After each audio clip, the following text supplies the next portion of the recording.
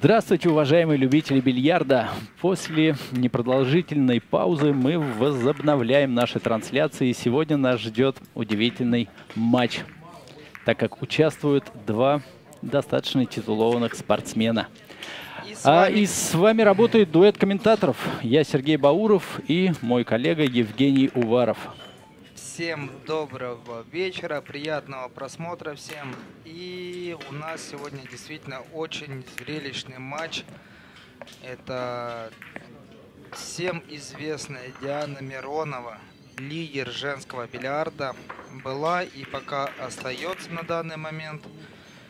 И непосредственно очень зрелищный, очень свободный, очень такой талантливый, не побоюсь этого слова, игрок Дмитрий Шкода.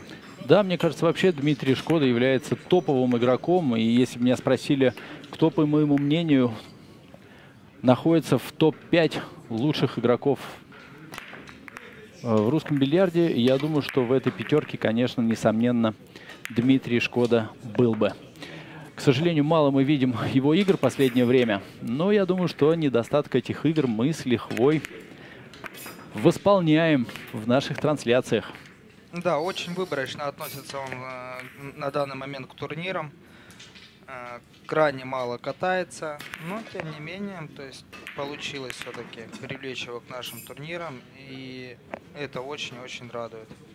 Потому что действительно смотреть его игру всегда очень приятно и очень зрелищно. Uh, да, вот я подключил сейчас чат. Хочется сказать сразу, что э, эти два спортсмена однозначно будут участвовать в предстоящем турнире э, Кубок Савиди, который совсем уже не за горами. И вот, по-моему, сегодня появилась э, сетка игровая. Уже спортсмены могут морально и психологически готовиться к своим соперникам. Я думаю, что будет вот эта игра э, хорошей разминкой для, и для Дианы Мироновой, и, соответственно, для Дмитрия Шкоды. А для тех, кто, может быть, ранее не следил за нашими трансляциями, напомню, что игроки играют в обновленную такую московскую э, пирамиду, но только есть отличия. Первое отличие заключается в том, что после забития свояка игрок имеет право играть только чужого шара, но имеет право играть из любого понравившегося дома. Поэтому может обойти стол и пересмотреть позицию. То есть, в принципе, сейчас мы как раз видели данное развитие событий именно таким образом. Диана Миронова забила с разбоя. И не со своего дома, а с дома, где находится пирамида, продолжила серию, довольно-таки удачно сыграв первый чужой в середину с выходом. И в итоге в ее копилочке уже есть три шара. Да, и вот Дмитрий э, тоже попытался сейчас сыграть свояка. На мой взгляд, не очень удачный был отыгрыш, хотя провела э, красиво по проводке, вот, но, к сожалению, выбрала ту зону, из которой просматривалась атака. Но атака закончилась ну, неудачно для Дмитрия Шкоды. И посмотрим, чем эта ошибка ему обернется. А, также хочется сказать, что оба игрока находятся, наверное, сейчас в хорошей, прекрасной форме. А, обидно. Перерезала Диана. Ой, не дорезала как раз, не дорезала, да. И, да, пытался выйти от свояка, но не получилось. А, поговорить удалось а, с Дмитрием перед этим матчем. Он сказал, что занимается плотно тренерской деятельностью и тренирует самого себя. То есть готовится к Савиде, находится в хорошей форме, хотя некоторое время назад он болел. Какая-то была простудная зараза к нему прицепилась. Он говорит, что несколько дней провалялся в кровати дома. Но, тем не менее, к, этой, к этому турниру и к турниру к Савиде будет готов полной мере. Не лишним будет упомянуть о том, что спортсмен играет новыми шарами, облегченными слегка. А, я, хотя предложил Дмитрию, а, сказал, что никаких нет проблем, учитывая, что не за горами турнир Савиди, давай сыграем старыми. На что он сказал, говорит, ни в коем случае. Э, говорит, не надо старыми. От старых, говорит, уже шаров тошнит. Играть, говорит, буду только новыми шарами. И Диана, конечно, сказал, говорит, мне вообще все равно, какими шарами играть. И пару дней, она буквально вот сегодня и вчера, ими потренировалась. В принципе, на тренировке, опять же, чувствовала себя уверенно достаточно. Ох, красивый. Вот он, Дмитрий Шкода. В своем стиле. Не просто воспользовался ошибкой Дианы, но еще и подарил любителям бильярда красивого свояка в угловую лузу. Ну, тем не менее, давайте не будем забывать, что все-таки а, основная специализация Дианы Мироновой – это в игру «Свободная пирамида». И, конечно, в игру одним шаром, а, в любом случае, даже на уровне ее кладки у Дмитрия есть а, довольно-таки сильный перевес. Как считаешь, Сереж?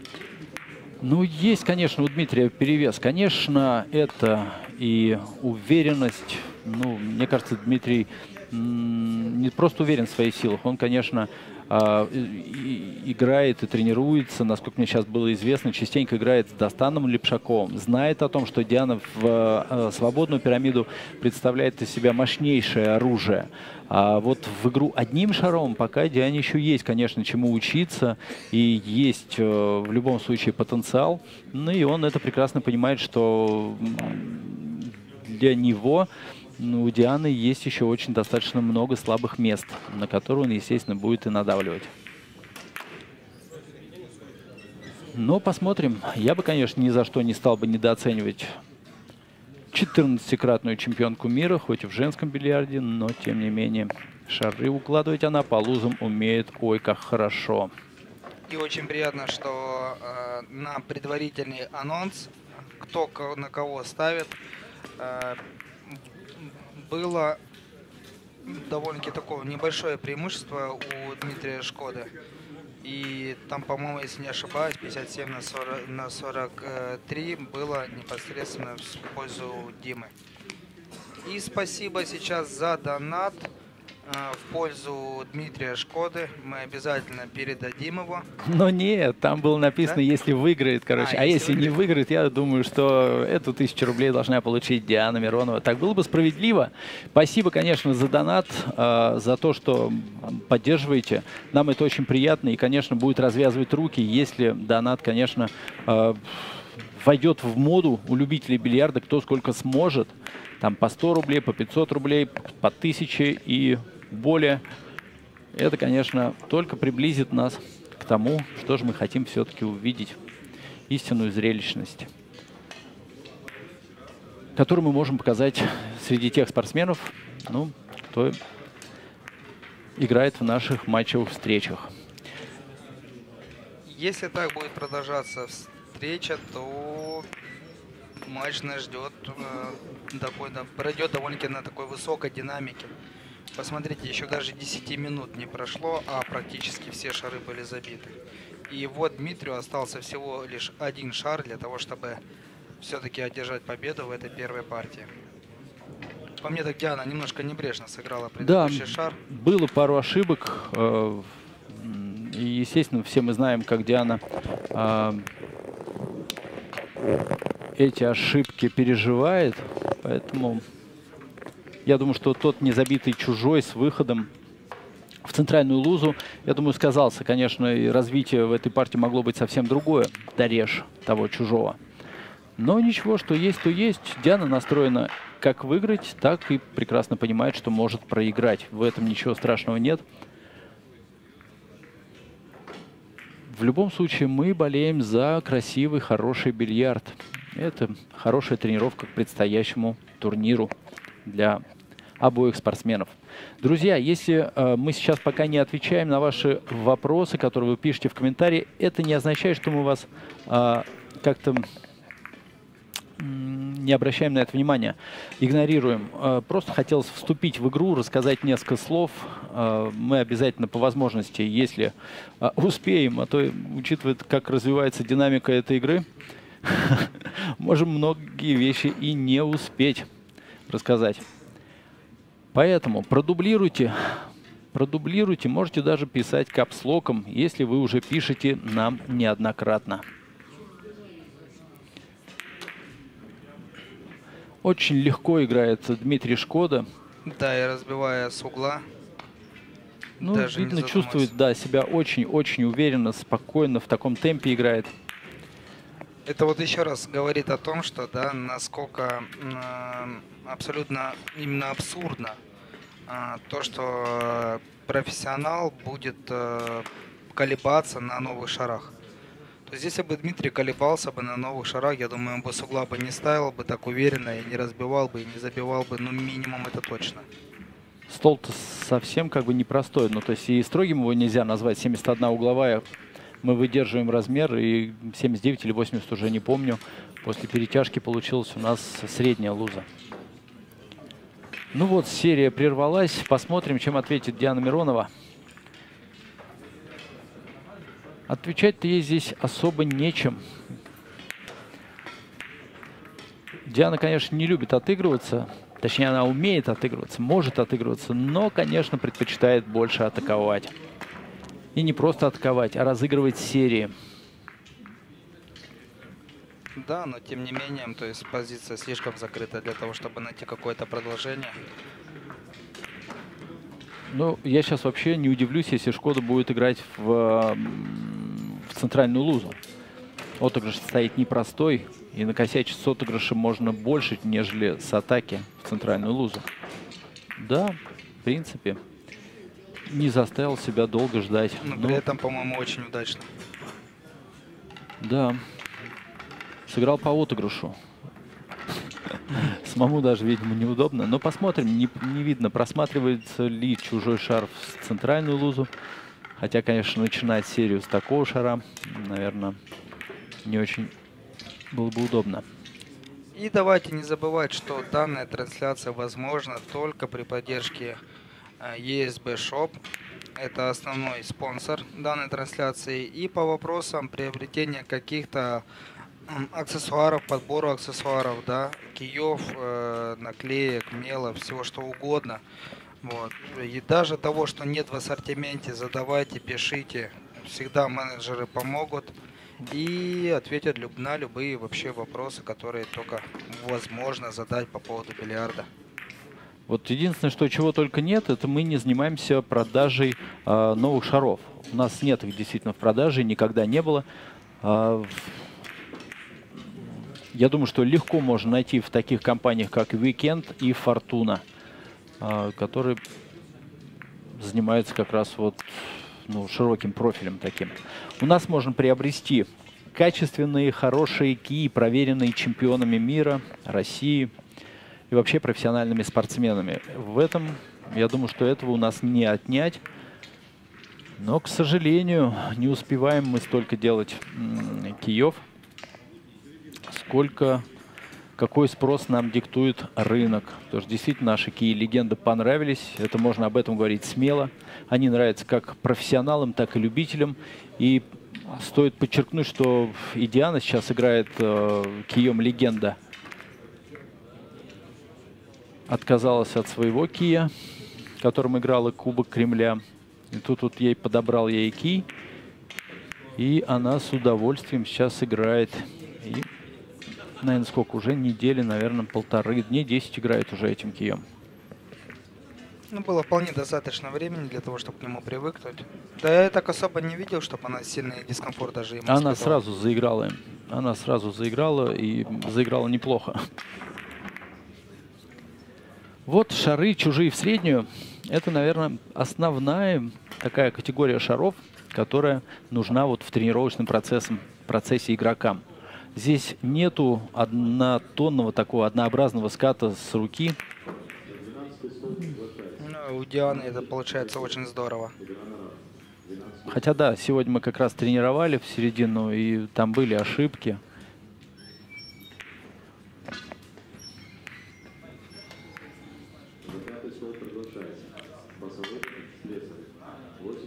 Должна разыграться Диана. Да, хорошо справляется. Не должен испугать ее Шкода своей такой экспрессивностью, своей скоростью. Ну, учитывая, что и Диана далеко не медленный игрок, я думаю, это для нее вполне подходящий темп. Сегодня Диана сказала, говорит, если бы, говорит, я не представляю, говорит, куда а, могут, а, в какой, наверное, как сказать, на какой уровень ее могут эти шары привести. То есть она говорит, я не представляю, говорит, мне сейчас, говорит, интересно играть этими шарами. Говорит, что будет через две недели, через месяц, говорит, э, просто забивать шары не хочется. Совершенно меняется тренировочный процесс, совершенно меняется рисунок игры. И вот как раз она сегодня задумалась о том, что ее любимый снукерный э, игрок это Ронни О'Салливан – и сегодня мы предположили, что реально она может заиграть в русский бильярд, как в снукер. И я говорил, сказал, я говорю, что если, говорю, Рони увидит, как ты играешь в русский, там, через пару месяцев, я думаю, что он тебе наберет и скажет, давай сыграем. Он однозначно подумает, ох, что будет, что было бы, если бы эта девочка играла в снукер. Потому что серии Миронова сегодня и вчера как бы выдавала такие приличные. Но это была тренировка, а это реальная игра. И не с кем-нибудь, а с самим Дмитрием Шкода, который не оставил никаких шансов некоторое время назад Сухробу Перматову. Это игроку, который выиграл один из туров Legend Cup, который мы проводили в конце весны этого года. Да, но и не будем забывать, что победитель данной встречи уже передвинется на ступень выше, где у нас есть Павел Плотников. Вадим Пешев, привет! Привет! И спасибо тебе за то, что смотришь нас и говоришь приятные слова. Очень хороший отыгрыш в исполнении Дианы. Да, Очень если бы еще получ... да, если бы еще получился навес э, на центральную лузу, было бы, наверное, еще лучше. Тогда бы Дмитрию не, Дмитрий не смог бы сделать вот этот удар. То есть пришлось бы более сложно делать. Но я думаю, что это мышление будущего. Понятное дело, что сложнейший удар Диана делала. И она, конечно, дозировала, дозировала силу удара именно таким образом, чтобы чужой шар не вернулся в ту же зону. А бить точно с навесом на центральную лузу, я думаю, что это, наверное, только со временем. Ну, это получится. действительно крайне сложно, при этом, что надо было действительно ставить плотную на шар, чтобы была маска. А это, к сожалению, через весь стол не так уж и плохо. А может быть даже не к сожалению, наоборот, хорошо. Иначе бы совсем было бы просто играть. Ну что, мы сейчас становимся свидетелями позиционной игры. Кладку уже игроки продемонстрировали в этих полутора партий, партиях. Ну, посмотрим, как они будут действовать в закрытой позиции.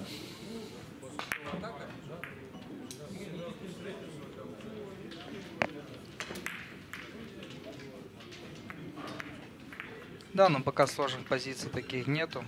Вполне стандартное решение. Вот. Ну, вот это ну может ну, быть да, ошибка. ошибка, если дойдет.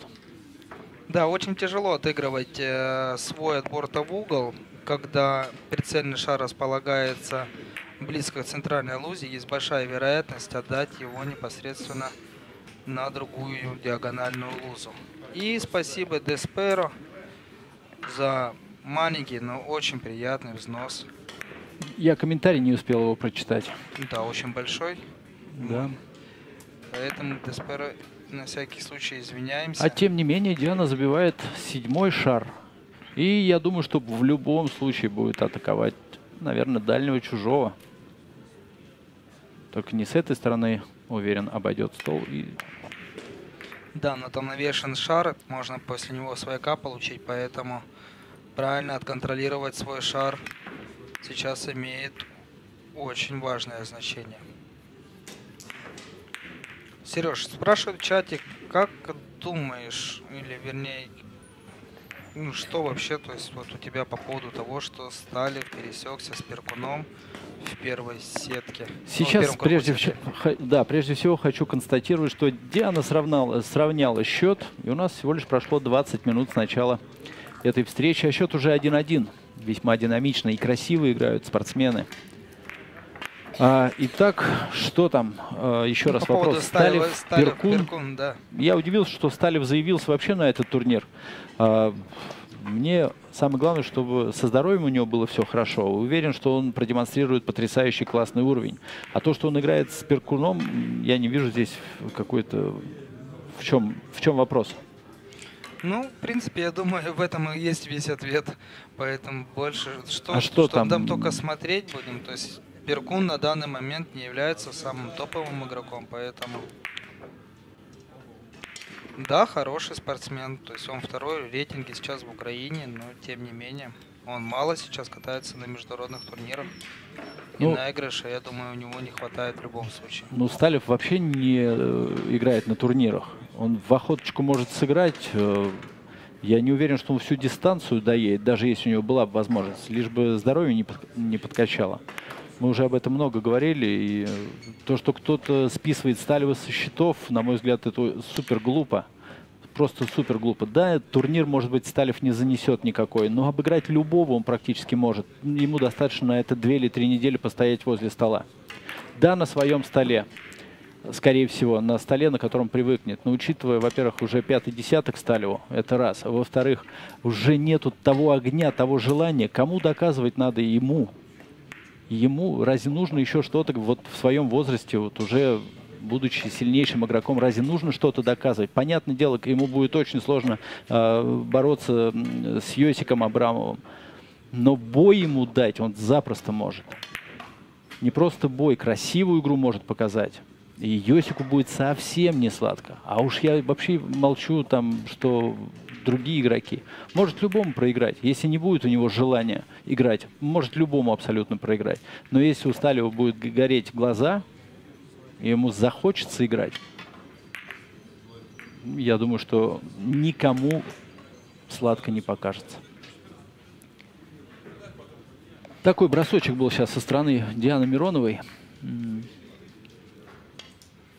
Может быть и нужный, может быть и не нужный. Да, ну, учитывая, что не забила, скорее всего, не нужный.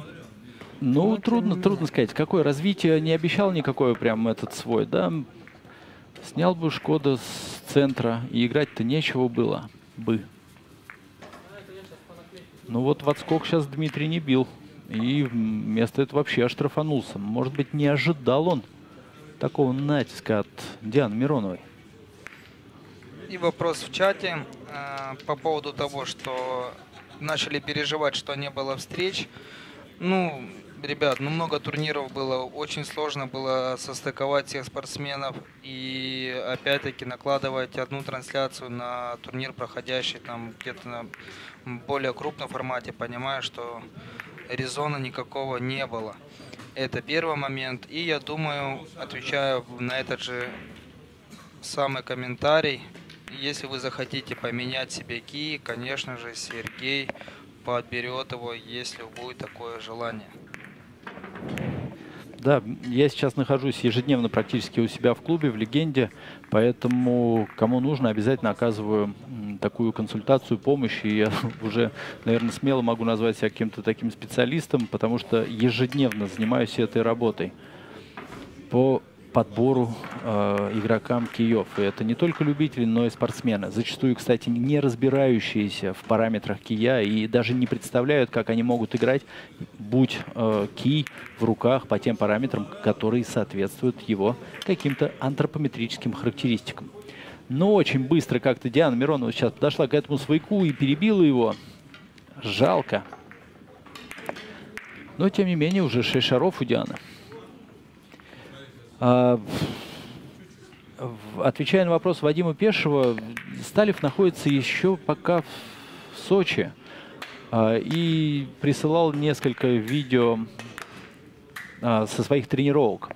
Ну, какие тренировки? Понятное дело, если он был бы здесь в легенде, он бы здесь тренировался бы у меня 100%.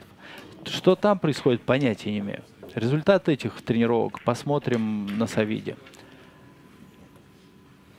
Да, смотри, насколько э, уверенно Дмитрий после такого удара Дианы просто от кучи дал свояка. Опа, не так уж и просто сыграть свой на месте. Да, многие предрекали вообще победу Шкоды на нашем турнире. Вот на этом турнире. Ведь победитель этой пары еще выходит на Павла Плотникова.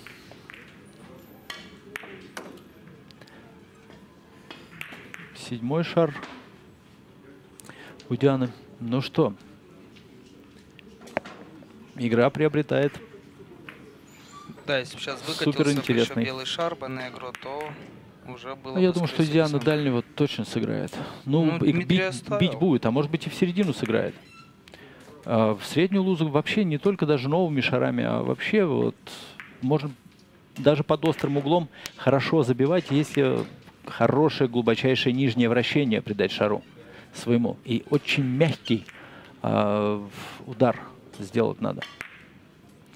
Но здесь не хватает, не хватило точности. И Диана ну, не, больше не слишком-то мягко и сыграла. Да, она больше э, своего отыгрывала к себе. И спасибо Деспера еще раз за донат. И, Сереж, там был вопрос. Ага. Сколько сейчас стоит ки Дианы Мироновой, которую она играет? А, сколько стоит кий? Это профессиональный кий без удлинителя. Он стоит всего 36 тысяч рублей. Вот вам, пожалуйста, те, кто считает, что хороший кий может стоить только от 60 э, тысяч и выше. Нет, это явно выраженное заблуждение. Ну, здесь еще и просто, учитывая стоимость в нашем магазине, подобная работа, восьмилучевой цветок, а, в принципе, находится в радиусе где-то 50-55, а, там, может быть, даже 60 тысяч. Средняя цена магазинная. Да, восьмой, э, восьмой шар в лузе. 2-1. Впереди Диана Миронова. Кто бы мог подумать, что такое начало после той первой партии, которую продемонстрировал Дмитрий Шкода. И по истечению менее 30 минут уже 2-1 впереди Миронова. Да уж. Очень не хочется, чтобы эта встреча заканчивалась. А если бы она в середину бы не ошиблась и смогла бы увеличить преимущество первой партии, то, представляешь, был бы счет 3-0. Но это, это был бы серьезный такой удар, да? То есть в любом случае, давайте не будем забывать, что парни не привыкли играть с девушками. И действительно настроиться вот именно на игру с девушкой, даже если это Диана Миронова, ну, крайне тяжело. Все-таки есть вот этот вот э, уже укоренелый такой стереотип, да, что все-таки мужчины сильнее. Диана это далеко не подарок.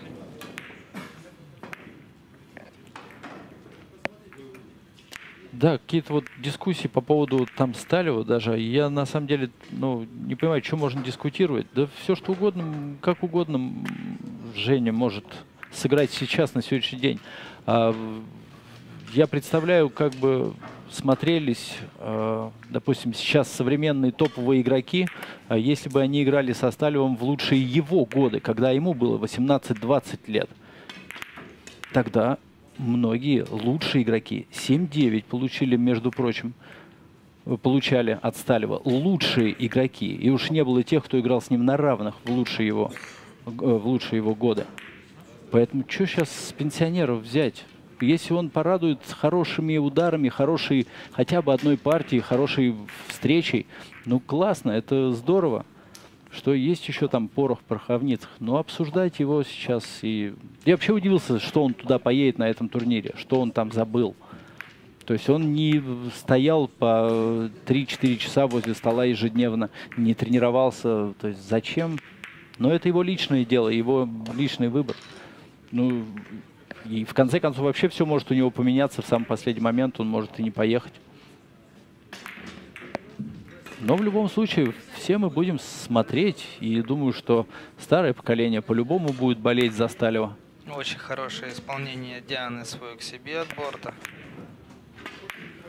Ну и Перкун Володя, конечно, тоже далеко не подарок. Конечно, было бы попроще, если бы Сталев вошел в игру, сыграл одну-две встречи э, с менее сильным игроком. Но, с другой стороны, если он со старта сможет обойти Перкуна, я думаю, что это вдохновит его и на дальнейшие встречи.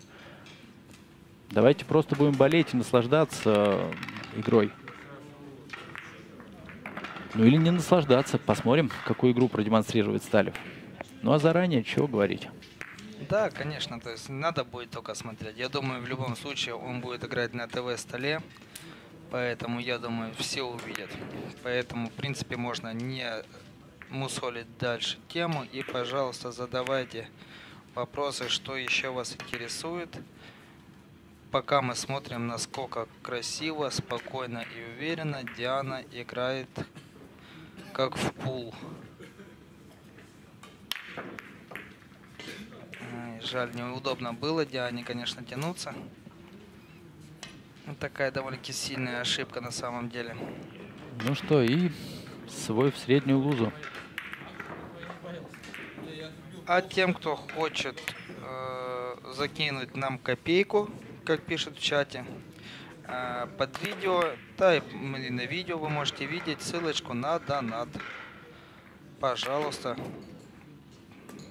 проходите по ссылке, там все возможно. Можете написать любое пожелание, либо задать любой вопрос нам в эфире.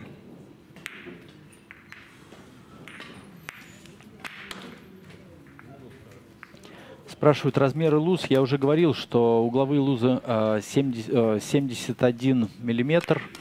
А, все лузы одинаковые по размеру. Почему я это упомянул? Потому что ну, не всегда так бывает, к сожалению. Центральная луза, вот я, к сожалению, не померил после перетяжки, 79 либо 80, но не больше 80. Стол прям, я бы не сказал, что совсем просторный, но и он и кладку у игроков не забирает. То есть игроки должны класть. Иначе да. кто будет смотреть, когда там по 10 ударов бьют мимо? Никто не будет смотреть. Снукер и пул любят за то, что люди там забивают, там мысли есть. А если бы пулисты или снукеристы бы каждый там постоянно били бы мимо, и там каждый пятый удар результативный был бы, никто бы не смотрел бы эти игры.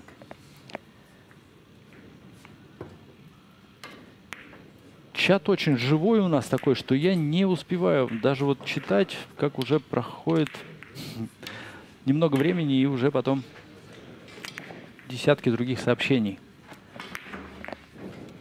Так что, Женька, помогай, если что. Да, сам бегаю туда-сюда глазами. Что-то немножко сбой месячной трансляции дал о себе знать немножко. Ну да, но тем не менее мы с тобой уже точно соскучились уже Нет, по нашим встречам. Я думаю, что особого перерыва сейчас не должно быть. А перерыв был связан с тем, что ну, насыщенный график у спортсменов был. Показывать малоизвестных игроков не хотелось. Хотя очень много просят молодых ребят прокомментировать их игру, прокомментировать их матч, показать их матч, показать, на что они способны. И я думаю, что мы обязательно это сделаем, потому что мы должны видеть то молодое поколение, которое растет, которое будет через 3, 4, через 5 лет выйдут в топы обязательно. И давайте не будем забывать, хоть и мы прерывались в прямых трансляциях по YouTube, матчевых встречах, но у нас также проходят и прямые эфиры в Инстаграме по пятницам. Обычно выходим в эфир в 21 либо в 22.00 вечером. Так что, пожалуйста, следите за нами в Инстаграме. Бывают иногда интересные вещи. Тоже можно задавать и вопросы разные. Ну и плюс мы все-таки там стараемся немножко перейти за стол и проводить какие-то обучающие мероприятия. Сейчас я думаю, что еще все внимание приковано к Иосифу Абрамову. Это уникальный спортсмен, молодец. А, искренне сейчас за него топлю и буду топить, наверное, на всех турнирах, потому что он делает сейчас некую уже историю бильярдную. Он уже выиграл несколько, если мне память не изменяет, пять международных турниров. Четыре. Четыре, да? Четыре подряд. Э, И, конечно, это супер, супер уровень и супер уверенность. И я думаю, что сейчас ему будет очень-очень непросто. Потому что каждый, абсолютно каждый спортсмен, который встретится с ним по сетке, будет понимать, что обыграв Абрамова, это практически чуть ли не точно так же, как выиграть турнир. На данный момент у него 29 встреч без единого поражения. То есть за последних 4 турнира он ни разу не проиграл ни одной встречи. А давайте не будем забывать про, по, по поводу того, то есть как, какие встречи он отнимал, когда в контровой ему забивали 7 с кия, и он давал 8 в ответ. Кубок Кремля, на секундочку, не подарок. Это действительно говорит о том, э, насколько человек относится вот именно к бильярду как к спорту, как к способу, то есть действительно, то есть самореализоваться. Но здесь огромную роль, конечно, его отец, э, воспитание прежде всего характера, э, устойчивой психики, хотя понятное дело, что железных людей на таком уровне вообще не бывает, там, с не пошатнувшейся психикой, а, это уж точно. Но тем не менее, ну, я очень рад за Йосю и уверен, что ему еще много турниров покорится. Просто интересно, кто же его остановит и остановит ли его кто-то в ближайшее время. На Савиде он, я думаю, что явный фаворит потенциально, но думаю, что желающих откусить кусок от вкусного пирога найдется немало. Две сенсации, как мы с тобой уже говорили, может быть. Это очередная победа Абрамова. То есть уже, в принципе, это Да, хоть да, он да. и фаворит, но тем не менее, все равно это, конечно, сенсационный результат может продемонстрировать Йосик. И победа э, Лепшакова, которая могла бы быть уже четвертой на этом турнире. Это, это вообще по теории вероятности настолько низко. Действительно, взять, выиграть три Савидев подряд, ну, это, конечно, крайне сложно. Ошиблась Диана, дала свояка. И сейчас видим полностью накрытую середину. Да. Да, ну еще Здесь, бы одна конечно. сенсация могла быть, если бы турнир выиграла Диана Миронова. Кстати, да, это была бы третья сенсация. Вот. Смотрите, какая ошибка, да, и как защитилась за Дмитрия. Есть- Да, да. Чуть не даже дурак не упал. Но он бы не считался бы, так как у нас с руки свой забивать нельзя, и это был бы просто переход хода. Для Дианы, конечно, лучше бы он упал. Да, да. Сейчас приходится ковырять и обязательно чужой шар подобьет что-то. А, нет. Сыграла аккуратно достаточно. Все неплохо. Ну, а те, кто думают, что Диана совсем уж не имеет шансов, хочу напомнить 2013 год, когда лишь только Сергей Крыжановский смог остановить ее на пути к победе в самом дорогом на сегодняшний день турнире Санкт-Петербург Open. Санкт-Петербург Open. Тогда Диана заняла третье место, обойдя всех-всех мужчин, топовых чемпионов.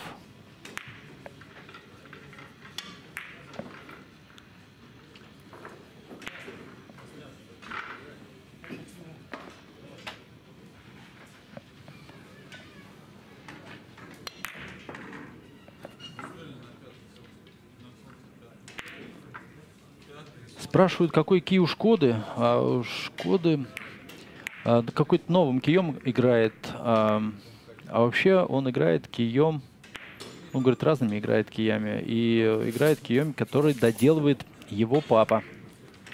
И той же самой наклейкой. Но мне кажется, Шкоде, когда он на разминке показал, какой он форме находится, я подумал, ему вообще все равно. Он, да, также взял Дианин кий, постучал немножко, сказал, что очень-очень хороший кий. Вот.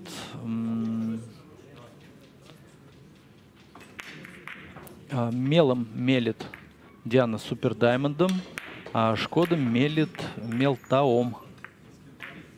Финский мел. Достаточно неплохой, но дорогой. Да, и вот уже 7 шаров опять у Дианы. Я думаю, если будет счет 1-3 в пользу Дианы, у Дмитрия будет явно выраженная проблема в этой встрече.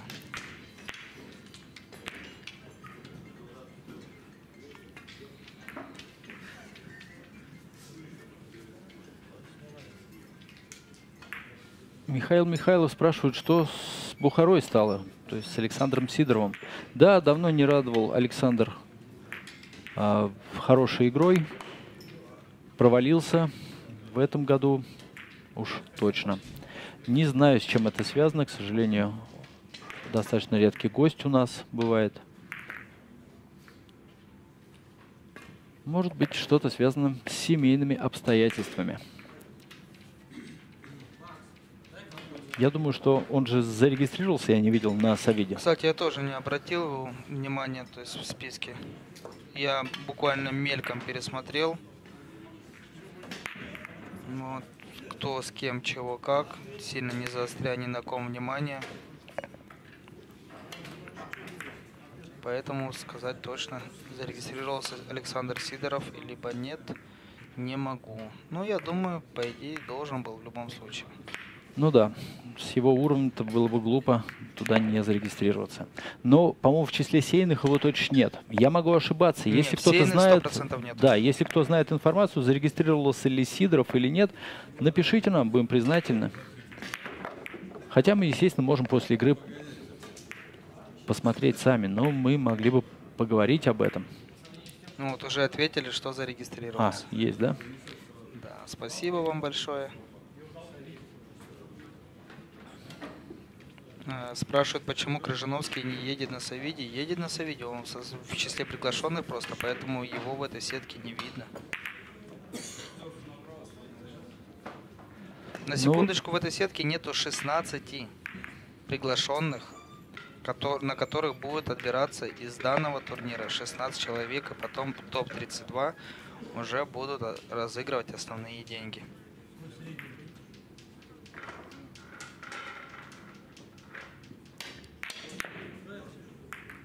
Я думаю, такой, бы, такой турнир мало кто пропустит из топовых игроков. Да, уже практически еще пару таких турниров, и люди, которые вообще никогда не играли, скажут, а почему бы не участвовать? Ну что там Миронова играет? А, отыгрывается. Тем более, давайте не будем забывать, что такое количество титулованных сильных спортсменов – оно позволяет там, намного, очень многому научиться, потому что помимо самого турнира, я думаю, будет не одна очень зрелищная игра, за которой можно будет дополнительно понаблюдать. И насколько я помню, Савиди в этом плане далеко не исключение. Очень много игр, поэтому, пожалуйста, можно всегда приезжать, смотреть, учиться. Мы раньше так и учились, только подсматривая за сильными. По-другому научиться было невозможно. Не было школ, не было грамотных преподавателей. Зато была коммерческая игра в расцвете. Да, Ошибается Диана сейчас в отыгрыше, причем в несложном таком.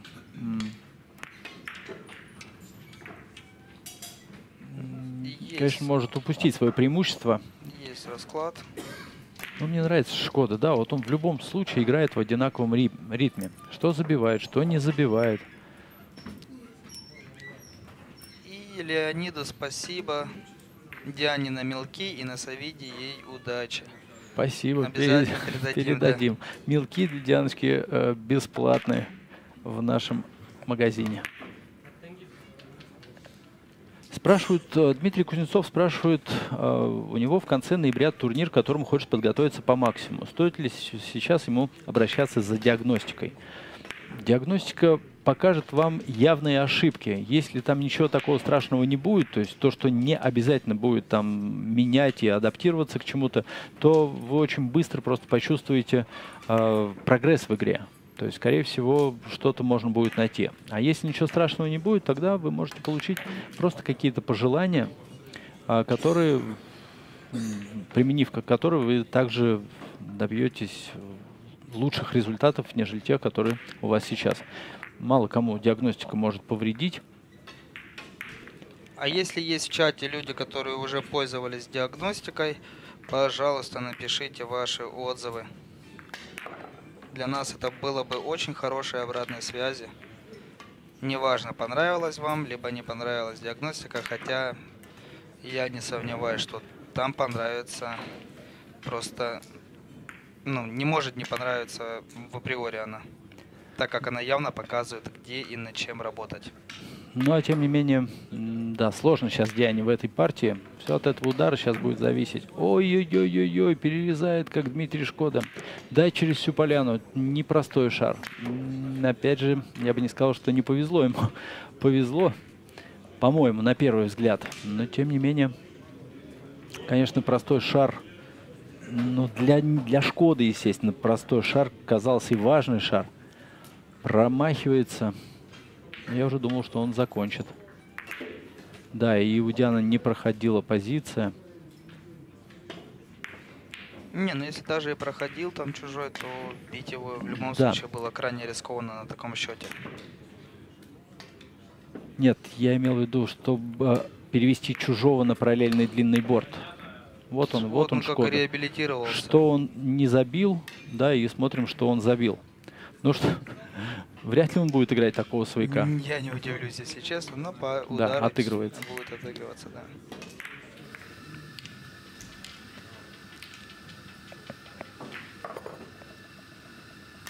По поводу того, вы любитель, играете год и поможет ли вам диагностика. Диагностика поможет абсолютно любому. То есть даже опытному то есть спортсмену всегда нужно корректироваться. То есть это, это неизбежно, то есть это то, то, над чем не стоит вообще то есть забывать. И э, может быть завтра в Инстаграме как раз и получится мне рассказать по поводу того, как более грамотно поставить тренировочный процесс. Диагностика нужна, да, Обязательно. Да, диагностика просто предотвращает э, массу ошибок, которые могут быть в начале зарождения этих ошибок. Поэтому э, цена вопроса, по-моему, 3000 рублей. А то, что вы можете получить с нее, мне кажется, бесценно.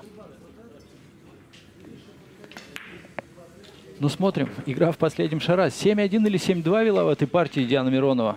Ну что, это Дмитрий Шкода. Ну что? Это, по-моему, ошибочка. Это может быть ошибка. Да. Тонко попадает Дмитрий. Хотел потолще, надежнее поставить чужой шар на длинный борт. Но попадает тонко. Возможно, недостаток концентрации. Но это его скорость, это его привычный темп игры. 3-1. Диана Миронова.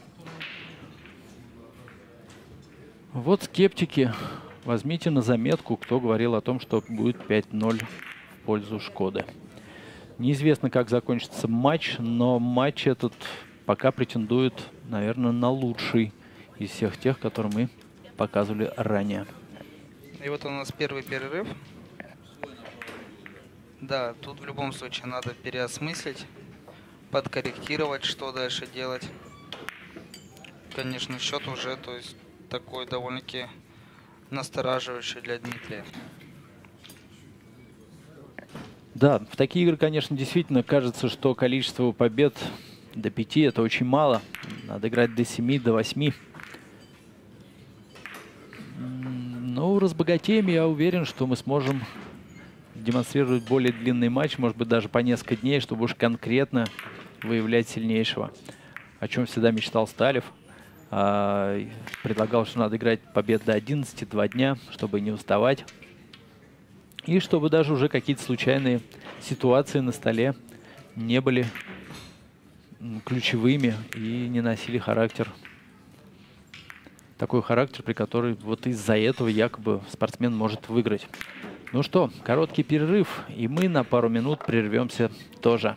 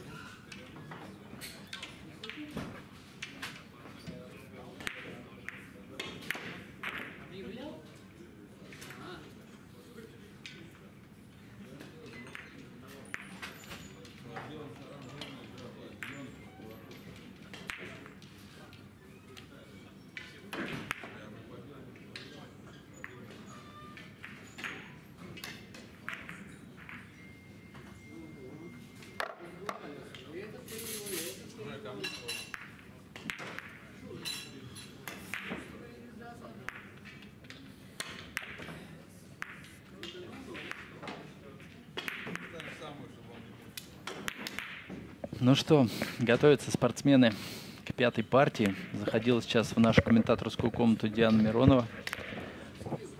Э, говорит, чувствуется напряжение, вот, волнительное такое.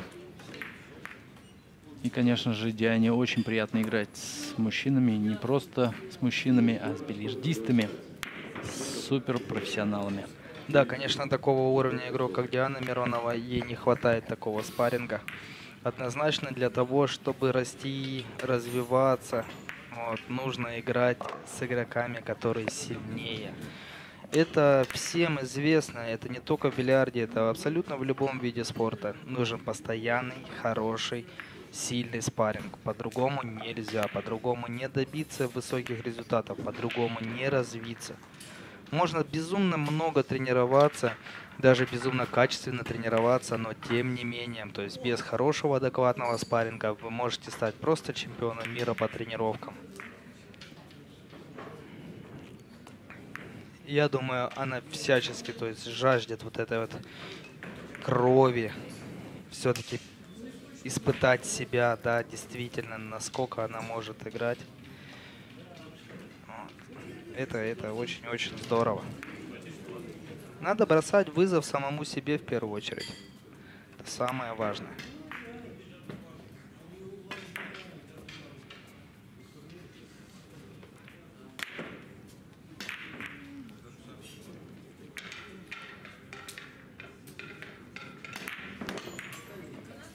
Посмотрим, что же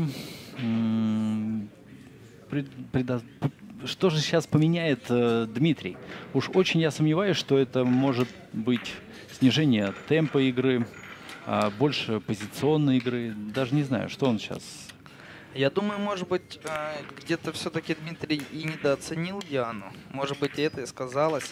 Вполне возможно, он переосмыслит все это. Кто-то предположил, что Шкода, возможно, не будет, ну, неинтересно играть с девочкой, А, да он прекрасно знает Диану Миронову, поэтому он понимает, что здесь не просто, не было бы ему интересно, он бы сюда не приехал бы на этот турнир. Он же знал, с кем будет играть, и готовился, и тренировался. И понятное дело, что он знает о том, что тысячи человек посмотрят эту трансляцию, послушают нас.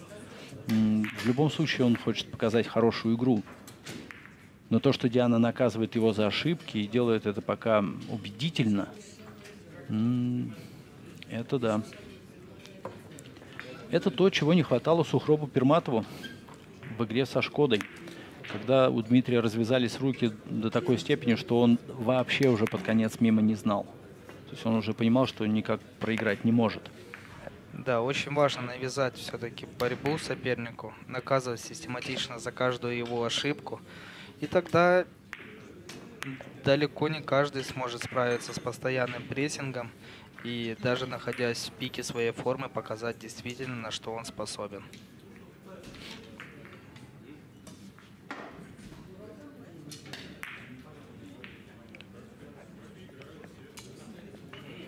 Спрашивают, почему Дмитрий Шкода торопится.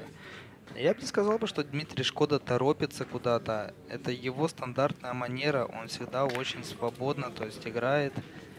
И вот сейчас он вернулся. И посмотрим, что будет продолжаться на нашем столе дальше. А я думаю, что нас ждет очень хорошая развязка. Я думаю, что если вдруг Диана Миронова одержит в этом матче победу, то мы объявим неделю скидок в нашем магазине. Я думаю, что это должен быть праздник. Для нас уж это точно. И для женского бильярда уж подавно. Диана не один год уже доказывает о том, что можно сражаться с мужчинами на равных, можно их обыгрывать. Сейчас Илина Нагула подрастает и уже демонстрирует высочайший уровень. И в любом случае еще сыграет свое с мужчинами. И тоже, конечно, не будет для них подарком.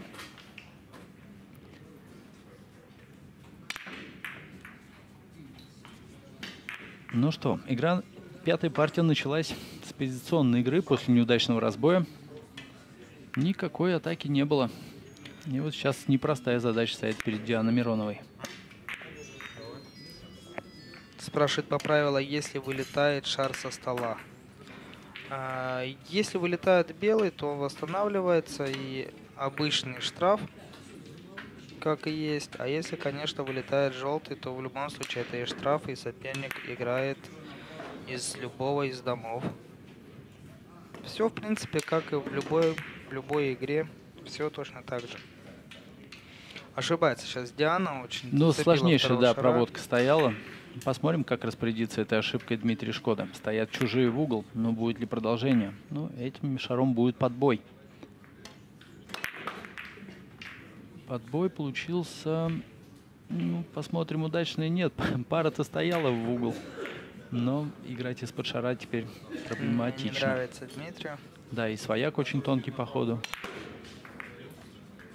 Но это Дмитрий Шкода. Здесь можно, он может найти шар там, где его никто не, не ждал. Это коммерческая игра, да. Это небольшой призовой фонд. Эта игра имеет 30 тысяч рублей. Каждая матчевая встреча у нас пока 30 тысяч рублей. Если будет донат соответствующий, я думаю, что можем увеличивать призовой фонд и, соответственно, уже приглашать игроков с других городов и регионов, не только регионов России, но даже с других стран. Да, к сожалению, это финансово затратное мероприятие, приехать откуда-то. Хотели мы на Кубке Кремля все-таки, чтобы у нас Александр Паломарь сыграл, но, к сожалению, у него не вышло. Поэтому все-таки даже выдергивать с турнира спортсменов, ну, крайне сложно. Йосик Абрамов э, сказал, что говорит, сейчас закончится Савиди, с удовольствием примет участие а, в наших битвах. Посмотрим. Мы в любом случае сейчас желаем, его, желаем ему хорошего выступления, победы на таком турнире. Уж хочется, чтобы у нас появился игрок, который может делать, творить историю. И сейчас это в руках Йосика Абрамова. Сереж, тут сразу mm-hmm. на твой предыдущий комментарий спрашивают, а сколько же будет все-таки скидка?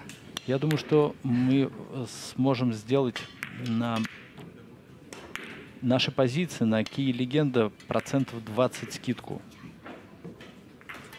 Для нас э, это очень большая скидка, потому что наценка на очки минимальная. И спасибо Валерию за донат от нашего кузнеца. Знаем, знаем, Валерий. Валерий. Спасибо. И рад, что смотрите нас.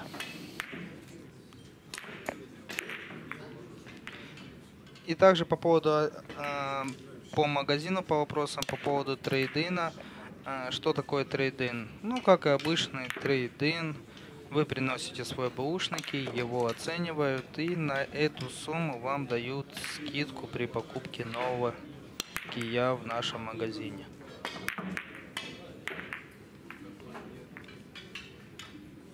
Да, что-то совсем Дмитрий расклеился.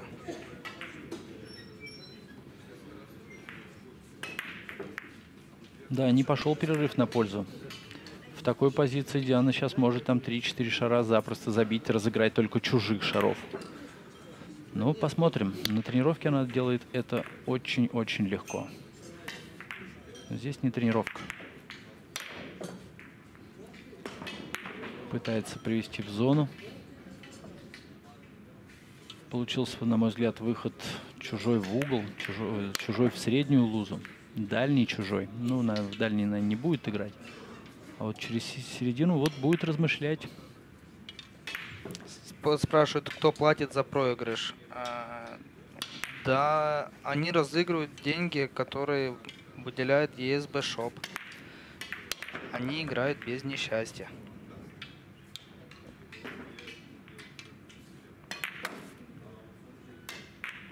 Приятно, что спортсмены думают, э, не просто пытаются забить, а именно думают. Э, Диан всегда думает, когда сыгрывает. И вот э, для нее интересно играть в такой бильярд. Конечно, строгость русского стола не позволяет уж совсем играть как в снукер, как в пул, но тем не менее местами получается там 6, 7, 8 шаров с кия она забивает, но это заглядение. Просто красиво рисует, красиво играет. Все продумано до мелочей. Не, вот са... это бильярд будущего. Вот мы очень хотели бы, чтобы именно такой бильярд был. Но старыми шарами она так не может играть много усилий нужно для того, чтобы оттянуть, сыграть дозированно. Зажать лузы, там, сделать там по миллиметру угловые лузы, ну тогда пропадет красота забития шаров. Очень много будет мимо. Зачем это? Не, конечно, когда э, игроки доходят до определенного очень высокого уровня, им просто не хочется бить. Вот. Вы даже посмотрите, давайте, то есть не будем далеко ходить, посмотрите, насколько сильно поменялась игра Йосифа Абрамова за последних там два даже года. То есть каждое действие вымерено. И вот так вот происходит с каждым, когда уровень кладки достигает очень приличного значения. Если человек хочет дальше развиваться, он должен искать более сложные решения, он должен всячески усложнять себе игру, расширивать диапазон ударов. И это показывает только то, что на самом деле, насколько мы сейчас все-таки сыры, вот, что насколько есть возможность развиваться. Мне даже сложно сказать, какой диапазон ударов вот вообще не, в априори не используется, а насколько это важно делать.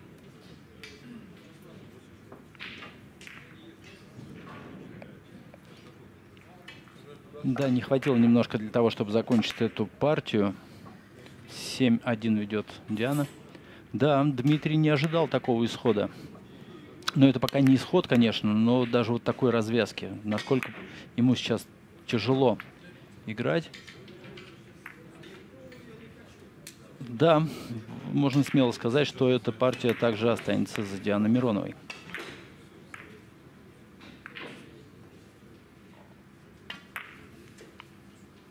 Четыре один, друзья мои. Да, небрежно бросает кий Дмитрий.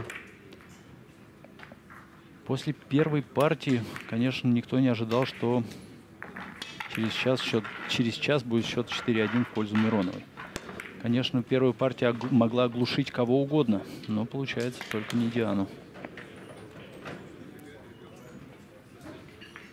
Спрашивают по поводу того, насколько быстро новые бильярд, ну, бильярдные заведутся новыми шарами. Ребята, на самом деле, то есть это ну, не играет такого Насколько... колоссального значения. То есть давайте смотреть. Э, у кулистов вообще, у всех профессионалов, э, они не смотрят, какие шары бильярдных. У них свои комплекты шаров. Вот. И, э, и никто там ничего, то есть в этом у профессиональных, у да, профессиональных да. тулистов есть комплект шаров, даже некоторые комплекты хранятся в нашем клубе, то есть тех игроков, которые приходят и время от времени тренируются в нашем клубе. То есть им без разницы, кто какими шарами играют, они тренируют своими шарами. И зачем всем переходить бильярдным клубом да, э, на там, старые шары или на новые? Ну, придет износ старым шарам, поменяют на новые.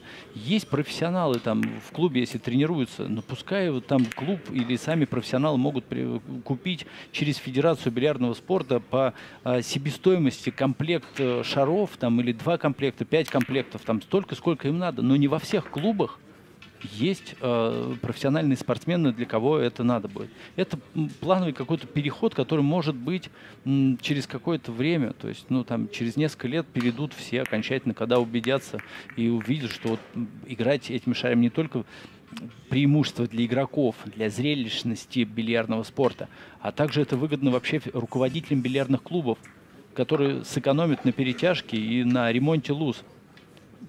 То, что получается от старых шаров, постоянно при любой перетяжке приходится накладки на лузах ремонтировать, менять. Наклейки постоянно деформируются. Одни и те же проблемы, вот мы говорим постоянно. Что то ли не слышат люди, то ли они сами не пробовали, не понимают разницы когда какие, вот на сегодняшний день, вот посмотрите, куда ни глянь, у всех игроков проблемы с наклейками. Все спрашивают, какими наклейками играют, какими, а какая я здесь, а это. Я там поменял наклейки, три наклейки за месяц уже сменил, не знаю, чем играть. Если бы вы играли новыми шарами, вам было бы все равно, какой наклейкой играть, потому что требований к новым шарам, к наклейке практически никаких нет. Диана играет средней жесткости наклейка EST, ESB нашей наклейкой. Шкода играет тоже под прессованной наклейкой Трианжел. То есть, ну, все. Ну, без разницы. Нету никаких там вот... Наклейка есть, вот как вот раньше, там, 15 лет назад. Есть наклейка на Кие, все. Остальное теперь важно, чтобы партнер был.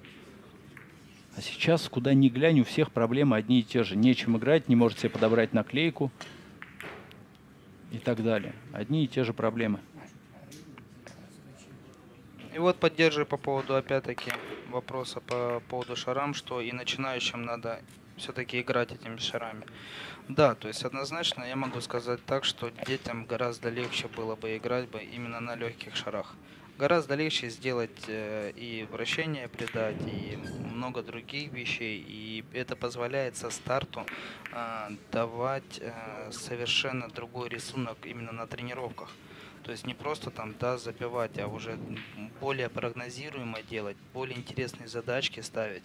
Потому что э, человек, даже начина, начинающий, обучающийся, он начнет гораздо раньше, то есть выполнять те или иные удары.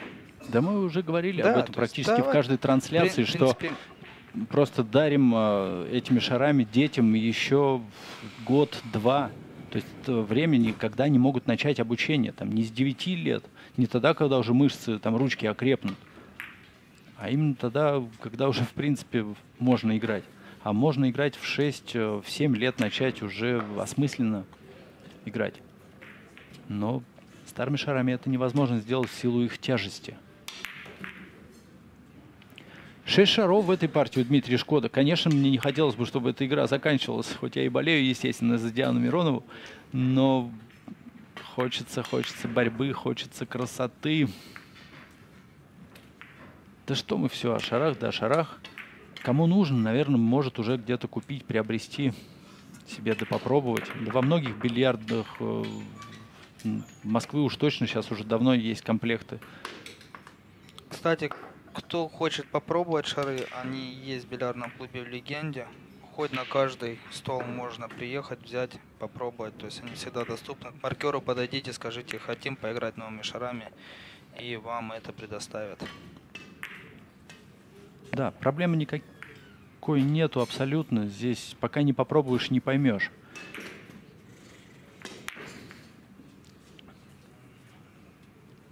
Осминин э, Влад, когда впервые в жизни э, сыграл этими шарами, он сказал, что говорит, ну, я за два часа к ним привык, говорит, впервые в жизни мне захотелось начать тренироваться. Ну, а тем не менее, Дианке все-таки получилось забить первый шар в этой партии.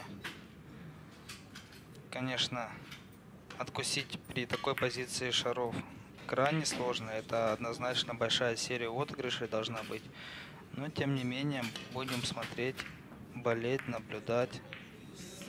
И тем не менее будет хорошо, даже если Дмитрий Шкода выиграет, потому что тогда все-таки игра забоевится. И вот, пожалуйста, какой очень хороший по скату чужой середины забивает Дмитрий. Но в любом случае вряд ли сейчас Миронов будет там нырять на какие-то шары. Спокойненько будет отыгрываться.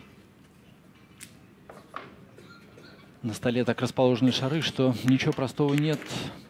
Конечно, можно нырнуть на свояка в угол. Не скажу, что это прям отработанный какой-то шар для Дианы. А, тем не менее, да, играть будет. Перебивает по силе. Да, с нашей стороны мне казалось, что там еще острее угол стоит, что наверное, не имело бы смысла играть. Вопрос в чате ко мне, как можно приобрести мои наклейки. Они есть ESB Shop. Пожалуйста, напишите менеджерам. Они вам ответят, предоставят все.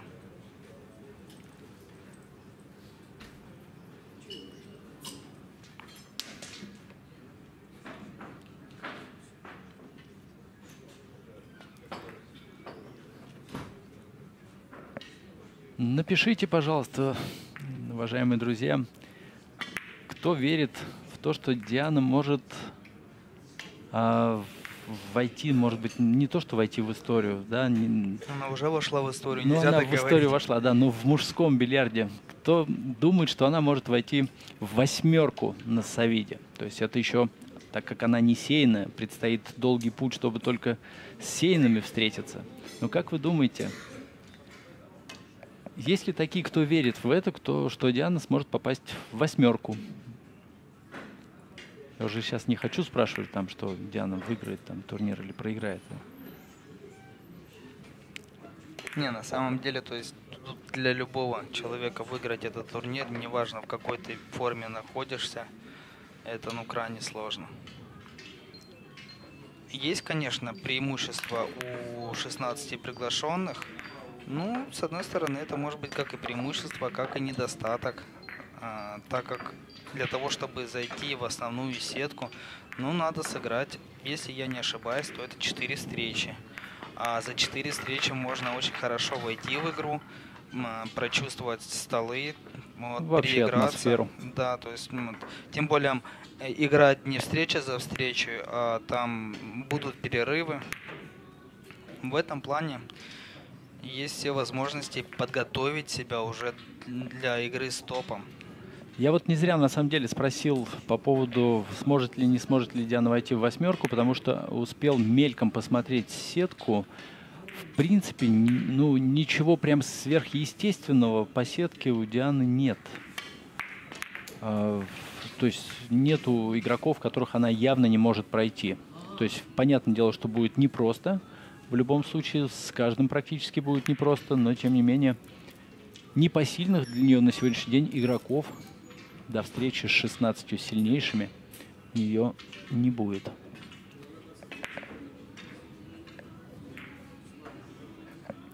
Кстати, после Савиди Сталев уже вернется в Москву. Я думаю, что мы, независимо от того, как он сыграет, я думаю, что организуем несколько матчевых встреч с Евгением Сталевым. Надеюсь, что он не откажет. Уже сделан его стол.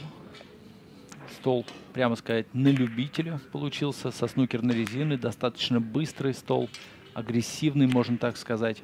В меру строгий, в меру свободный. Ну, такой стол, мне кажется, не имеющий аналогов. Ой, как перетягивает Диана.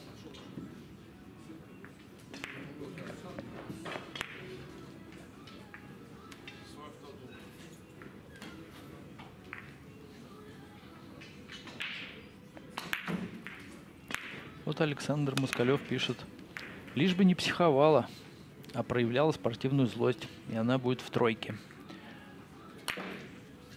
Да, бывает, что Диана психует, расстраивается. Это прежде всего связано с ее собственной игрой. Ни в коем случае она никогда не испытывает неуважения к соперникам.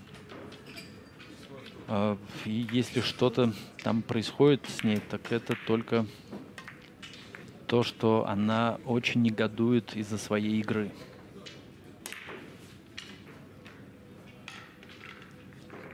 Да, ну что, Шкода Дмитрий ожил, отбил еще одну партию.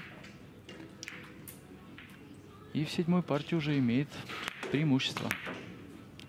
Сейчас чуть не дорезал. Да, сделал хорошую серию из трех шаров и с руки ошибся очень-очень сильно. Ну вот в середину играл, то ли он с подбоем хотел, то ли просто на забитие хотел сыграть. Да, вот Индиана редко себе позволяет такие удары, то есть она каждый шар пытается, даже сложный, пытается либо выйти, либо увести, либо целенаправленно, если делает подбой, то выцеливает даже в какой-то определенный шар. То есть редко можно увидеть какой-то на отмаш удар, который не несет никакой мысли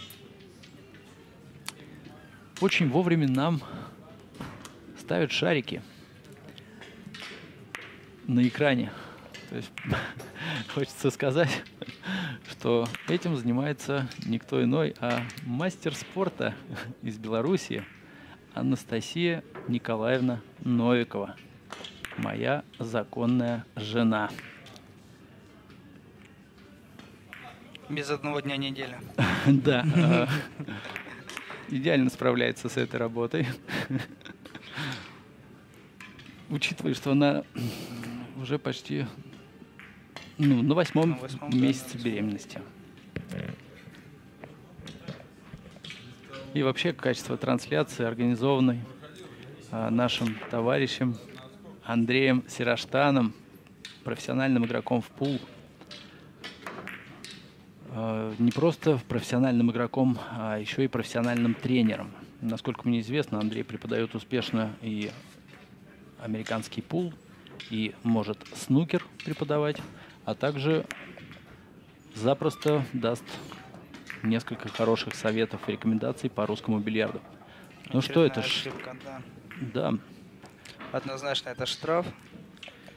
Поэтому команда в бильярдном клубе «Легенда» Просто супер-супер профессионалов собралась.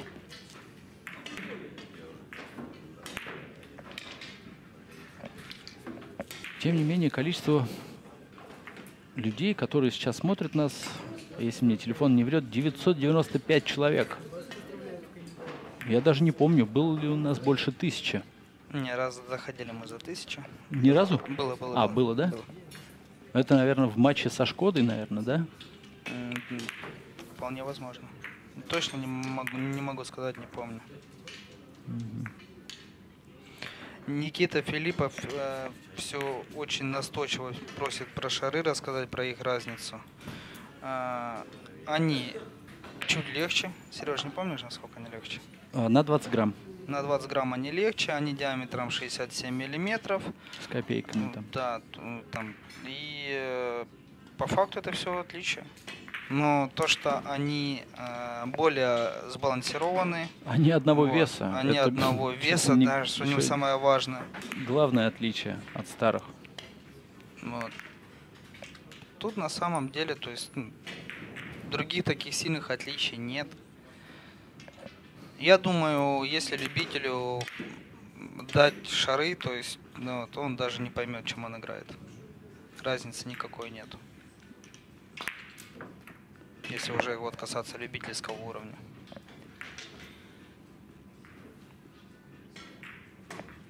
И спрашивают, ставят ли лайки. Лайки ставить обязательно. Вот. Будем вам за это весьма благодарны. Спасибо за поздравления. Меня тут поздравляют. Ждем мы девочку. А, если УЗИ не врет, но на 100% я думаю, что скажет только акушер. Кстати, я вот сейчас недавно сделал флюорографию. Хочу впервые в жизни присутствовать на родах. Ты, кстати, Жень, э, не присутствовал на родах своего ребенка? Нет, не присутствовал. Я даже не представляю, как это. Многие говорят, можешь не выдержать психологически. У меня Ну. просто было все, у меня было кесарево, поэтому. Не знаю, я очень хочу просто держать в это время за руку свою любимую жену. Ну, однозначно хочу сказать, что твоя жизнь поменяется в корне. Всегда да, е- есть старая такая поговорка. э, В этот период времени все делится на до и после.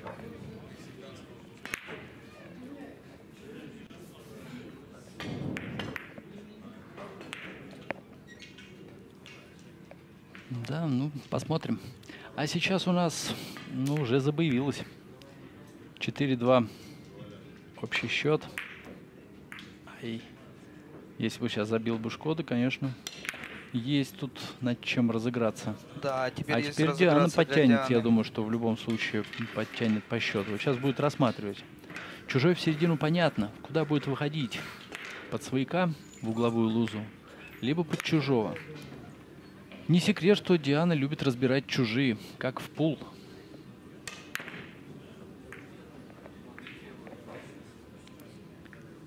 Как в пул играет.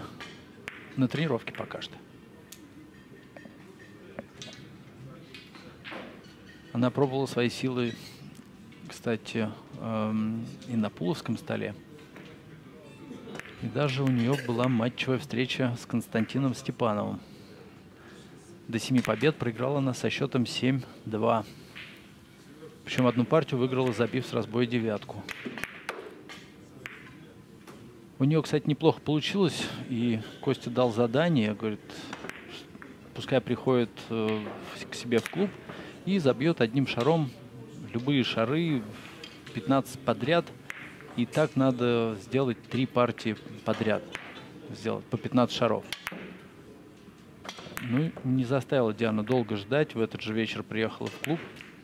Забила 5 партий с кия одним шаром. И говорит, что-то, говорит, мне скучно. Но на самом деле просто не было у нее хорошего партнера на тот момент, чтобы ей могли реально продемонстрировать всю красоту этой игры, все умения и все возможности. А тут хочется сказать спасибо, Рус Боец.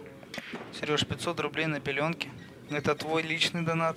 Да ладно, я не Да. увидел, э, читал комментарий. Спасибо большое.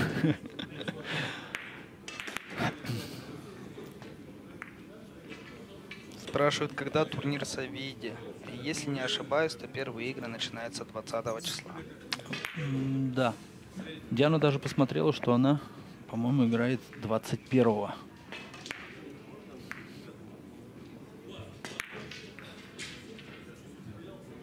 Но если чужой упадет с прокатом... А, нет, ошибается Дмитрий. Я думал, что он мог здесь закончить. Но вместо этого сейчас у Дианы есть все шансы сравнять счет.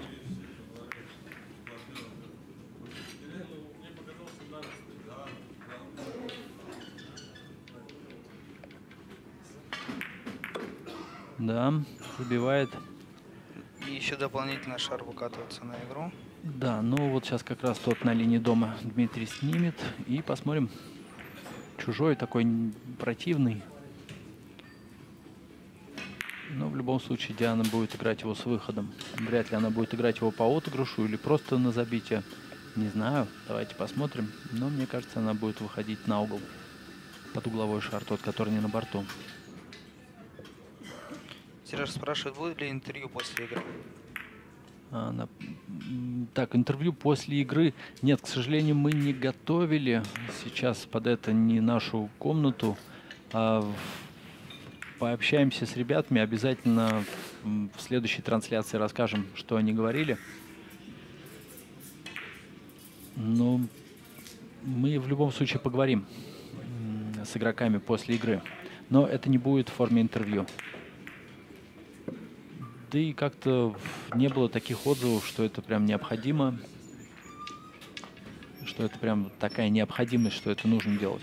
Как небрежная сейчас ошибка у Шкоды в простом отыгрыше.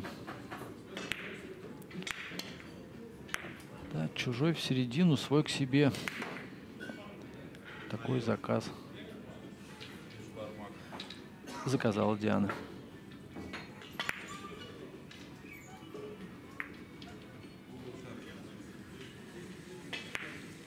Немного не угадывает с размером. В этом при этом отыгрыше очень важно, чтобы свой, конечно, оставался возле лузы. Максимально усложнить жизнь сопернику стояла задача. Сереж, можешь рассказать, э, в чем преимущество модели цветка 4, 6, 8 лучевого? Вообще в целом цветка и перед какой моделью? Не, между собой, то есть э, именно по лучам. 4, 6, 8.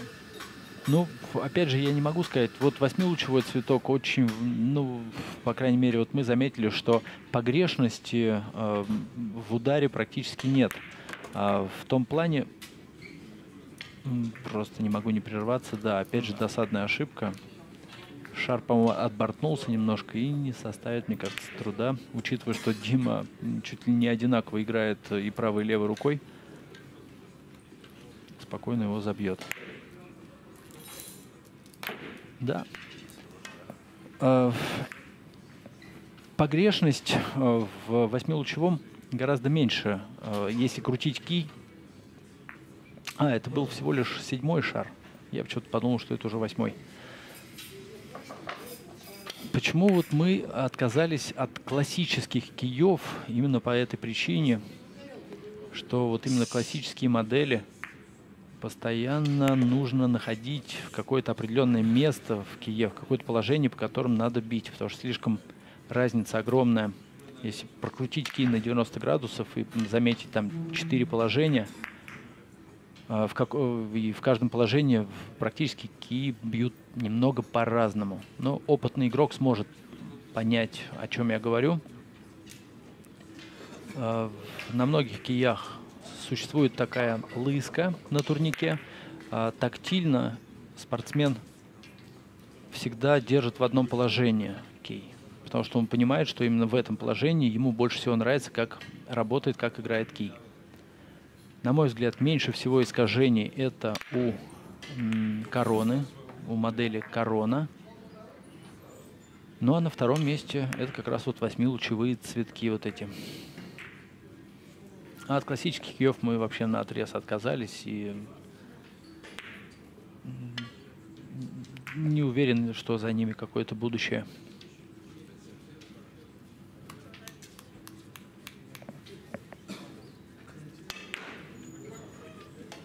Пишут уже 1100 зрителей. Класс. Класс. Но это действительно, это не только бильярд развивается. Но это, наверное, еще такой все-таки матч интересный. Диана с э, Дмитрием Шкодой. Плюс игру показывают отличную.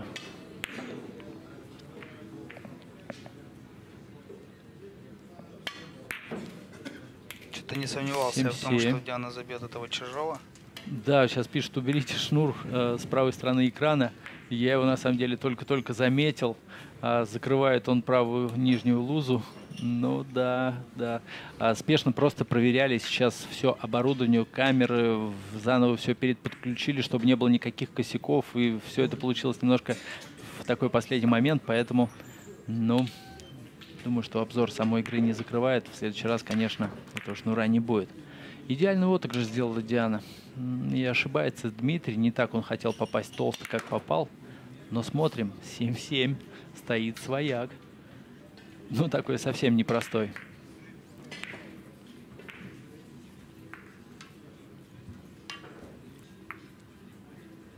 Тонко попадает. Чуть-чуть перетанчила Диана. И сейчас, скорее всего, Дмитрий будет отыгрываться через тонкого.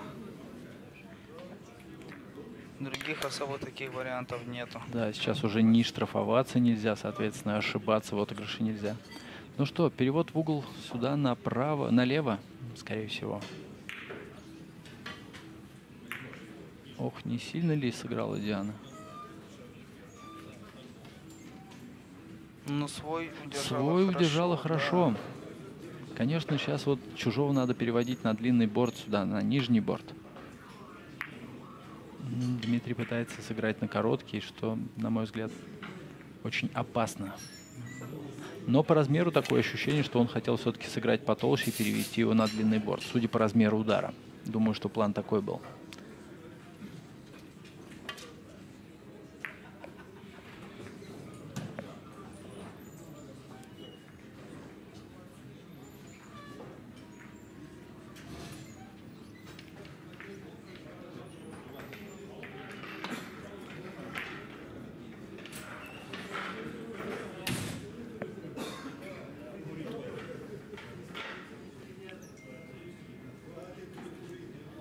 Да, пока очень хорошо отыгрываются оба спортсмена, действительно.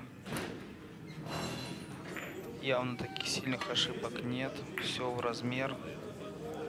Ну, мне кажется, учитывая, что какую игру показывают спортсмены. Ну, Дмитрий, понятное дело, что не на своем столе играет, но хочу сказать, что он тренируется, и, ну, и шары его не смущают нисколько. Он даже сам сказал, говорит, что надо говорит, играть новыми шарами. А Диане вообще все равно, чем играть, но этими шарами ей больше нравится играть. Хочется вот к чему сказать, то, что, в принципе, игру показывают совсем-совсем неплохую. То есть и на Савиде в любом случае их соперником будет непросто.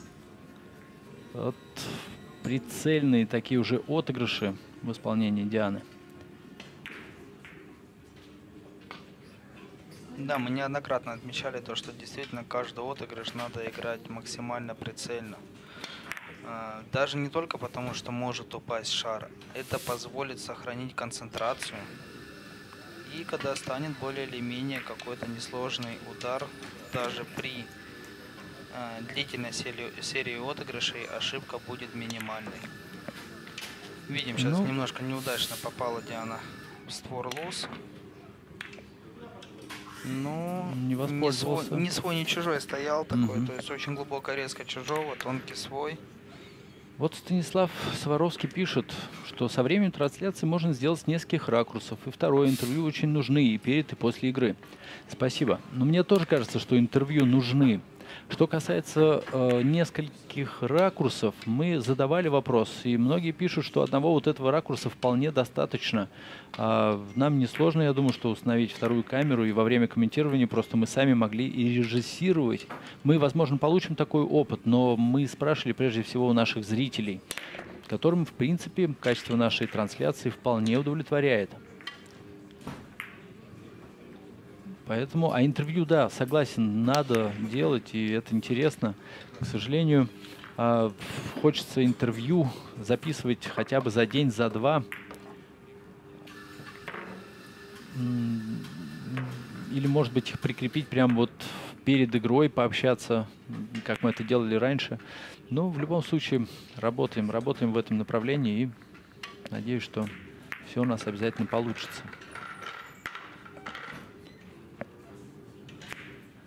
Опять спрашивают, кто на сегодняшний день производит кии Поповские, Баженов, Бойко, Баринов. Виктор Бойко делает Поповские кии. Вот. Не довела У Диана нас, чужого. да, у нас будет время еще пообщаться. Это не может не радовать. Счет 4-3. Делал и делает э, Виктор Бойко. Геннадий Баринов являлся его учеником и, соответственно, э, делает также поповские кии, но уже под своим именем. Это Поповские кии Геннадия Баринова. Они уже много лет не сотрудничают вместе, но э, эти кии вообще не уступают по игровым свойствам киям Виктора Бойко. Просто есть любители конкретно киев Виктора Бойко. Они продаются в нашем магазине, оригинальные кии, естественно. А, и кии Геннадия Баринова, которые по сути своей э, где-то в два раза дешевле. Вот сейчас у нас Павел Плотников получил свою Бариновку, Олег Еркулеву, Олегу Еркулеву э, в Оренбург отправлена э, поповка Геннадия Баринова. Будем смотреть их мнение. Будем следить за их игрой этими киями. Да, очередной разбой от Дмитрия именно с угла, как говорят. Очень активный разбой, который дает колоссальную ошибку в случае не попадания. Ну да. И, кстати, вот этим разбоем Пащинский тоже Юрий постоянно разбивает. И на Кубке Кремля у него там было чуть ли не стопроцентная результативность, но только не за счет забоя свояка, а за счет падения дурака. М, Понятно. Ну, на это тоже расчет ведется. А в играх одним шаром что на самом деле, чем грозит этот разбой? Понятное дело, что может все рассыпаться и встать подставка. Но что может быть еще? Во-первых, можно забить с этого разбоя и продолжить уже в легкой форме забивать несложные шары. Второе, может упасть дурак. На это тоже идет, ведется расчет. То есть и также игра продолжается. В-третьих, может ничего не встать абсолютно после такого разбоя. В-четвертых, может встать петля. Об этом тоже мало кто думает. А на самом деле так все может навеситься на лузы, а биток может быть замазан очень, очень неприятным каким-то способом. И забивать там будет нечего. А может и вот как сейчас, вот Диана забила пару шаров и ошиблась. И позиция, ну, для Дмитрия более-менее раскрыта. Да, единственное, что неудобно, все-таки далеко придется брать удлинитель.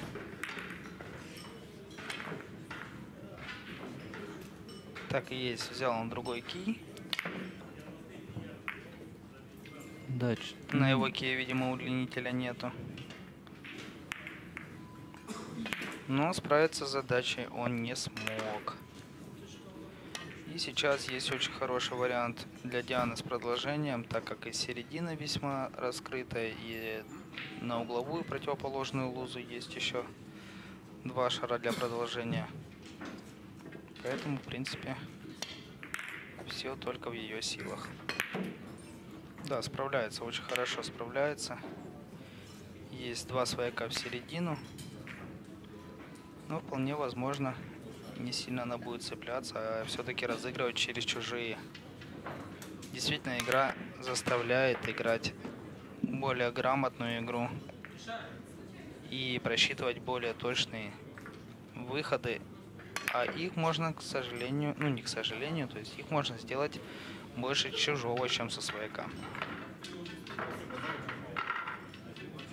Не получилось у Дианы всего Да, немножко размашисто. да. Мы как раз говорили о том, что то, что шары легче там на 20 грамм, а, не требуется такого сильного замаха, такого сильного резкого прокола. То есть можно играть э, гораздо, наверное, легче.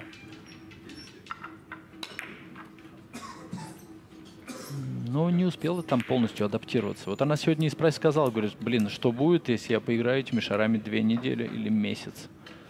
Я говорю, будет просто фантастика. Что может быть? Ну, может быть, действительно свободное от турнира время и поиграет Диана. Был бы у нас здесь такой призовой фонд, как на Совиде, да? Сейчас бы, понятное дело, все бы уже играли и показали бы, наверное, идеальную игру.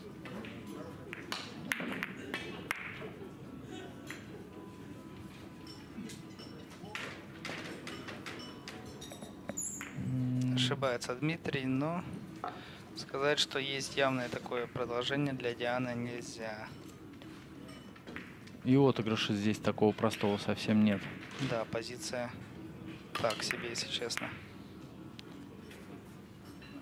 Вполне возможно будет либо атаковать чужого, либо свой через лоб скатывать туда. И будет атаковать. Да, по замахам будет атаковать. И смотри, как Забила. результативно, да. Немножко не повезло, то, что на, на шар налип.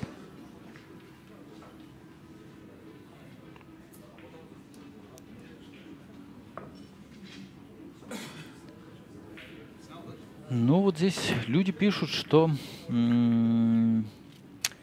все-таки нужно интервью. Да, однозначно, всегда приятно послушать э, мнение, даже, наверное, то есть, если взять в целом, это непосредственно и сам настрой на игру, свои ожидания, потом смотреть э, действительно, насколько э, спортсмены смогли прогнозировать свою игру. Это всегда было интересно, почему, в принципе, и во многих спортах это используется. Вот. И, конечно же, все-таки хочется посмотреть, как э, реагируют э, спортсмены в случае выигрыша либо проигрыша. Очень хороший удар Дмитрий исполняет. Да, причем да. даже показал, что шар падает. Но сам последний момент подзастрял немного. Тут напоминают мне о том, что я как-то упоминал в одной из трансляций, что я обязательно расскажу правду о поповских, о поповках и развеем тайны, ходящие вокруг них и мастера. Так может настало время? А, может быть и настало время, но, наверное, не в этой трансляции. Да не то, что там правда какая-то. А просто многие действительно, не знаю, для многих э, это вообще сама ситуация, при которой многие даже отказываются верить, что существует такой мастер, как Виктор Бойко. То есть вот у меня даже до такого доходило. То, что Геннадий Баринов там делает бойковские ки, это тоже есть такие слухи, что многие другие мастера делают э, поповки. Ну, об этом мы поговорим, конечно. Тут неоднократно спрашивают возраст э, Виктора Бойко. Если память не изменяет, 62 или 63 года ему. Вот, поэтому думаю, что в одной из трансляций можно об этом побеседовать. Я просто вообще забыл об этом, а сейчас у нас в любой момент партия может и встреча может закончиться, поэтому даже начинать не хочется, если честно. Так что, пожалуйста, в начале следующей трансляции напомните, я думаю, это не составит абсолютно никакого труда. Но, тем не менее, как я хочу уже напомнить о том, что если Диана одерживает, а ей остался, по-моему, один шар – так. Да, так и есть. Том... Один шар и остался. Наши клиенты нашего магазина получат 20% скидку. Эх, менеджеры меня убьют. Они, видимо, еще об этом не знают, хотя наверняка смотрят.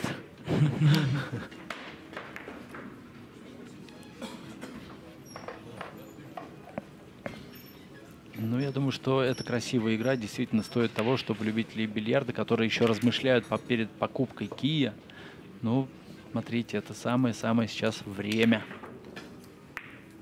Но Диана еще пока не выиграла.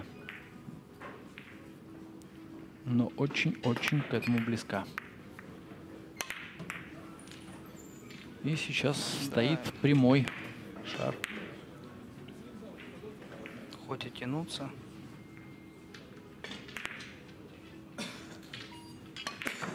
Нет, не забивает. Неудобно. Может быть, переволновалась немножко, сама не поверила.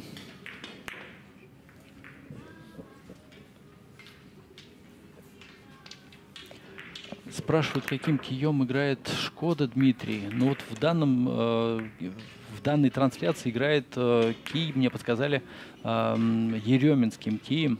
Да, в чате писали, что вроде бы как терминатором. Это новая модель Еременского Да, а, а прошлая трансляция Дима играл своим Кием. А, Кием, который сделал его папа. Тем не менее, все. Игра-то наша закончилась. Да, и со счетом 5-3 Диана одерживает победу в этой встрече. Мы поздравляем Диану и поздравляем Дмитрия. А, Диану теперь ждет партнер, соперник Павел Плотников. Я думаю, что играть они теперь уже будут после Кубка Савиди. А, была интересная игра. Кто посмотрел только концовку, обязательно пересмотрите с самого начала этот матч. Он очень интересный. А, посмотрим, какую игру буквально там, через пару-тройку дней сформируем пары и огласим, кто будет играть в следующий раз, в следующий четверг. И сообщим, следите за нашими новостями в наших соцсетях, в наших э, инстаграмах. Я думаю, это самые основные пока ресурсы для напоминания о каких-либо событиях. Ну и любите бильярд. А для вас работали я, Сергей Бауров, и мой коллега Евгений, Евгений Уваров. Уваров. Спасибо, до новых встреч. Всего доброго. Всего доброго.